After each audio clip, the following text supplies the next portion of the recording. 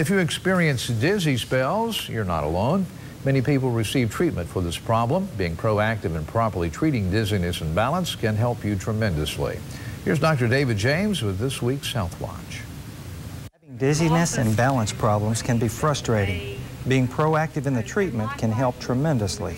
When the rope starts spinning, I mean, it just goes, and you lose all sense of balance. So, so you got you got to stop what you're doing and just hold on.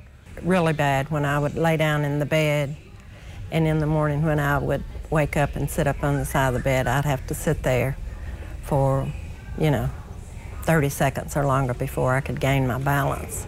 Doctors say these types of problems are common. At least one out of three people that go to the doctor's offices now in this country complain of dizziness. If you talk to your doctor about dizziness or balance problems, here's an important tip to remember. Dizziness is um, a very vague term and can mean a lot of different things.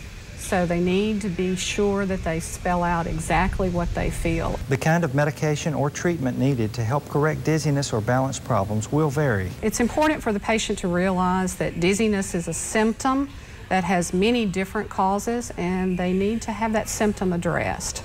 When talking to your doctor about dizziness or balance symptoms, be sure to ask if vestibular therapy would be the right treatment for you.